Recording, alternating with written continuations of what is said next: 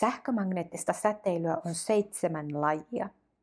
Kaikki sähkömagneettinen säteily on poikittaista aaltoliikettä.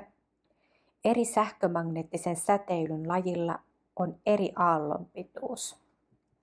Aallonpituus mitataan aallon harjalta toisen aallon harjalle. Kun aallon pituus on pieni, energiaa on paljon. Kun aallon pituus on suuri, energiaa on vähän. Jos energiaa on paljon, säteily on ionisoivaa säteilyä. Silloin säteily voi irrottaa atomista elektronin tai rikkoa molekyylin. Kun atomista irtoaa elektroni, atomista tulee ioni. Sen takia säteilyn nimi on ionisoiva säteily. Ionisoiva säteily on vaarallista. Se voi vaurioittaa ihmisen DNAta. Gammasäteily, röntgensäteily ja osa UV-säteilystä on ionisoivaa säteilyä. Muut säteilyn lajit ovat ionisoimatonta säteilyä. Ionisoimaton säteily ei ole vaarallista. Säteilyllä on vähän energiaa. Energia ei riitä irrottamaan elektronia atomista. Radioaallon pituus on 1 senttimetri 10 kilometriä. Radio- ja televisio-ohjelmat lähetetään radioaalloilla. Radioaalloista ei ole ihmiselle haittaa. Mikroaaltojen aallonpituus on yhdestä millimetristä yhteen metriin. Mikroaaltoja käytetään esimerkiksi mikroaaltouunissa, kännykässä sekä langattomassa verkossa. Mikroaalloista ei ole ihmiselle haittaa. Infrapunasäteily on lämpösäteilyä.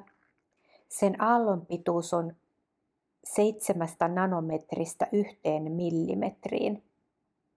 Kaikki esineet lähettävät infrapunasäteilyä. Infrapunasäteilyä käytetään television kaukosäätimessä sekä lämpökamerassa. Myös ihminen lähettää infrapunasäteilyä. Lämpökameralla voidaan etsiä ihmistä, joka on eksynyt metsään. Infrapunasäteilystä ei ole ihmiselle haittaa. Yksi sähkömagneettisen säteilyn laji on näkyvä valo. Näkyvän valon aallonpituus on 400-700 nanometriä. Auringosta tulee ultraviolettisäteilyä. Ultraviolettisäteilyn ansiosta ihmisen iholla muodostuu D-vitamiinia. UV-säteily ruskettaa ihoa. Jos ihminen saa liikaa UV-säteilyä, iho voi palaa. Ihon palaminen voi aiheuttaa ihosyöpää.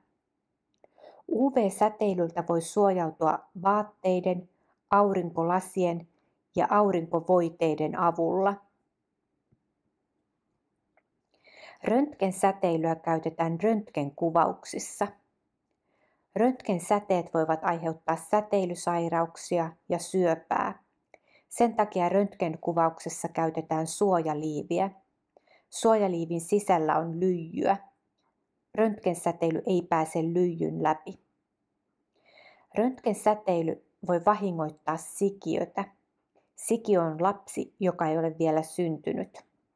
Sen vuoksi raskana oleville naisille ei tehdä röntgenkuvauksia, ellei ole pakko. Röntgensäteilyä käytetään lentokentän turvatarkastuksessa. Siellä matkatavarat läpivalaistaan röntgensäteiden avulla. Gammasäteilyllä on pienin aallonpituus. Yksi aalto on noin 0,01 nanometriä. Yksi nanometri on millimetrin miljoonas osa. Gammasäteilyn aallonpituus on siis hyvin hyvin pieni. Sen vuoksi gammasäteily pääsee hyvin eri materiaalien läpi, mutta paksun seinän tai lyijylevyn läpi gammasäteily ei pääse. Gammasäteilyä käytetään sairaalassa tutkimuksissa ja hoidoissa. Esimerkiksi sädehoidossa gammasäteet tuhoavat syöpäsoluja.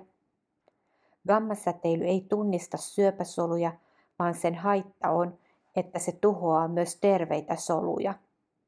Gammasäteily voi aiheuttaa syöpää ja vahingoittaa sikiötä.